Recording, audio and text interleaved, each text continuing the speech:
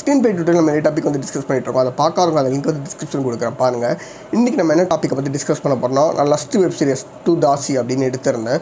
ரெண்டாவது எபிசோடு தாசி. அந்த பார்க்காதவங்க அதை லிங்க் வந்து டிஸ்கிரிப்ஷனில் கொடுக்குறேன் பாருங்கள் அது எடுக்கும்போது என்னென்ன டிஃபிகல்ட்டிஸ் இருந்துச்சு அப்படின்றத நம்ம பார்க்க போகிறோம் வாங்க பார்க்கலாம்.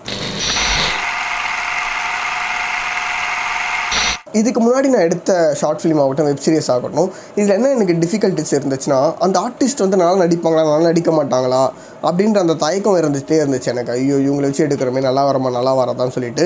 ஆனால் அந்த மாதிரி தாட்டு எதுவுமே இதில் வந்து எனக்கு இல்லை. ஏன்னா இவங்க ரெண்டு பேருமே நல்ல ஆர்டிஸ்ட்ன்றதால ரொம்ப ஃப்ளெக்சிபிளாக இருந்துச்சு. ஏன்னா இதுக்கு முன்னாடி நடித்தவங்க எனக்காக வந்து நடித்தாங்க அவங்க ஆர்டிஸ்ட் கிடையாது ப்ரொஃபஷனல் ஆர்டிஸ்ட்டு இவங்க வந்து ரெண்டு பேருமே வந்து நல்ல ஆர்டிஸ்ட்டு அதனால் எனக்கு அந்த பயம் வந்து கிடையாது. மெயினாக அந்த டிஃபிகல்ட்டிஸ் வந்து எனக்கு இல்லை. ஐயோ இவங்களை வச்சு எப்படி நம்ம எடுக்க போகிறோம் அப்படின்றது. அந்த பயமே இல்லை. இவங்க வந்து ஸ்கிரிப்டை எடுக்க போகிறாங்கன்னு எனக்கு இல்லை. இவங்க வந்து ஸ்கிரிப்டை வந்து என்ஹான்ஸ் தான் பண்ண போகிறாங்க அப்படின்னு தான் எனக்கு தோணுச்சு. ஆக்டர்கிட்ட இருக்க அந்த தயக்கங்கள் வந்து இல்லை. ஆனால் இதில் என்ன டிஃபிகல்ட்டிஸ்னு பார்த்தீங்கன்னா காசு இல்லைன்றது தான் ஒரு மெயினான ஒரு டிஃபிகல்ட்டிஸ் ஃபிலிம் மேக்கர்ஸ் எல்லாருக்குமே வந்து ஒரு பெரிய ப்ராப்ளமாக இருக்கிறது காசு இல்லைன்றது தான். ஸோ இதில் பட்ஜெட் வந்து நான் தனியாக ஒரு வீடியோ போட்டிருப்பேன். இந்த ஆயிரத்தி முந்நூறுவா தான் ஆச்சு. ஸோ இவ்வளோ தான் வந்து பட்ஜெட்டு ஏன்னா இப்போ தான் நானே ஜாபுக்கு போகிறேன் ரொம்ப நாள் இல்லாமல் ரொம்ப வருஷம் இல்லாமல் ஜாபுக்கு போகும்போது நிறைய காசு வந்து நம்ம நிறைய இடத்துல வாங்கியிருப்போம்ல அது எல்லாமே நம்ம கொடுக்குற மாதிரியே இருக்கும் பார்த்தீங்களா? அதுவே ஒரு ஆறு ஏழு மாதம் வந்து போயிடும்ல. ஸோ அதனால் காசு இல்லாமல் நம்ம ஒரு ஃபிலிம் பண்ணணும் ஒரு வெப் சீரிஸ் பண்ணணும் அப்படின்னு நினைக்கும் போது அந்த இடத்துல அந்த ஒரு ஸ்ட்ரகிள் வந்து ரொம்ப அதிகமாக இருந்துச்சு எனக்கு. மூணாவது வந்து கேமராமேன் வந்து இல்லை. ஸோ நானே கேமரா எடுத்துகிட்டு நானே டேரக்ஷன் பார்க்கும்போது அது ஒரு டிஃபிகல்ட்டிஸ் வந்து இருந்துச்சு. நாலாவது வந்து டப்பிங் இந்த டப்பிங் ப்ராசஸ் வந்து நான் முன்னாடி பண்ணும்போது ரொம்ப ஈஸியாக இருக்கும் ஃப்ளெக்சிபிளாக இருக்கும். ஏன்னா நான் முன்னாடி இடத்துல ஒர்க் பண்ணலை.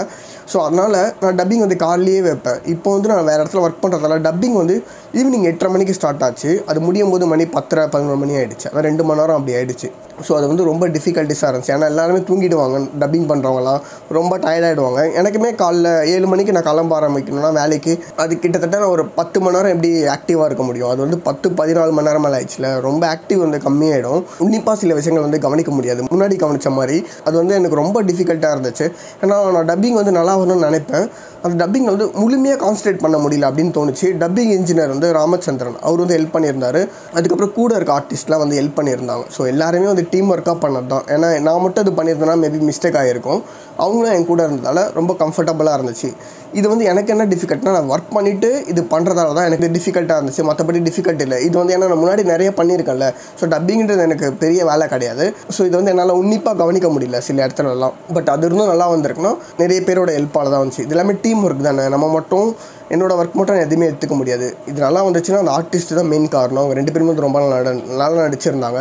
சவுண்டு வந்து சவுண்ட் எஃபெக்ட் சுரேஷ் வந்து அவர் கரெக்டான இடத்துலலாம் மியூசிக் போட்டுகிட்டே இருந்தார். ஏன்னா நான் முன்னாடி ஒரு சீன் எழுதுறேன்னு வச்சுக்கோங்க. இந்த இடத்துல இந்த மியூசிக் வேணும்லாம் நான் எழுதிடுவேன். இதே மாதிரி மியூசிக்லாம் டம்மி மியூசிக்லாம் எடுத்து வெடிச்சிருவேன். இதில் வந்து மியூசிக்கே வராதுன்னு நினச்சேன் நான். இது இருந்தும் சின்ன சின்ன மியூசிக்ஸ்லாம் வந்து சவுண்ட் எஃபெக்ட் சுரேஷ் தான் அவர் கொடுத்துருந்தாரு. ஸோ அவங்களோட க்ரெடிட் தான். இது எல்லாமே ஒவ்வொரு பர்சனோட கிரெடிட் தான். என்னோடய ஐடியாஸ் வந்து இல்லை. என்னோடய ஐடியாஸுன்றதை நான் ஸ்கிரிப்ட் எழுதிட்டேன். இது எடுத்தது மட்டும்தான் என்னோடய ஐடியாஸு மற்றபடி அவங்கவுங்க ஒர்க்கு வந்து அவங்க ரொம்ப பெர்ஃபெக்டாக பண்ணியிருந்தாங்க. மற்றபடி ப்ரொமோஷன் விஷயத்தில் என்னென்னா இப்போ என்னோடய சேனலில் வந்து முப்பத்தி மூணாயிரம் சப்ஸ்கிரைபர் இருந்தாலும் அதை பார்க்குறவங்க வந்து ரொம்ப கம்மியான பேர் பார்க்குறாங்களே இது ப்ரொமோஷன் பண்ணணும்ல. ஸோ அதனால் ப்ரொமோஷனில் விஷயங்களில் தான் எனக்கு ரொம்ப டிஃபிகல்ட்டாக இருக்குது அட்லீஸ்ட் நான் எடுத்து போட்டேன்னா ஒரு பத்தாயிரம் பேர் பார்த்தாங்கன்னா கொஞ்சம் சாட்டிஸ்ஃபைடாக இருக்கும். ரொம்ப கம்மியான பீப்பிள் பார்க்கும்போது. கொஞ்சம் வருத்தமாக தான் இருக்குது ஏன்னா முன்னாடி நான் ஷார்ட் ஃபிலிம்லாம் எடுக்கும்போது சாதாரணமாகவே ஒரு இருபதாயிரம் இருபத்தஞ்சாயிரம் பார்த்துருவாங்க. ஆனால் அது வேறு ஒரு யூடியூப் சேனலில் போயிடுச்சுல இப்போ என்னோட சேனல்னு போடும்போது முன்னாடி லஸ்ட் வெப் சீரிஸ் ஒன்று வந்து நாலாயிரத்தி ஐநூறு போயிருந்துச்சு.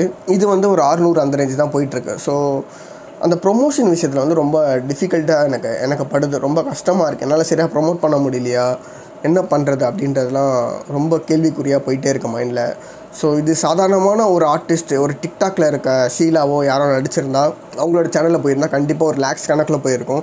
நம்ம எடுத்து நம்ம சேனலில் போடும்போது ஆறுநூறு ஐநூறு அப்படி போகும்போது கொஞ்சம் வருத்தமாக தான் இருக்குது ஸோ இவ்வளோ தான் டிஃபிகல்ட்டிஸ் இருந்துச்சு.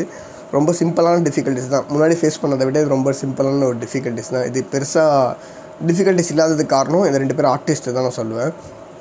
ஸோ வேற ஒரு டாப்பிக்கில் பார்க்கலாம். நன்றி வணக்கம்.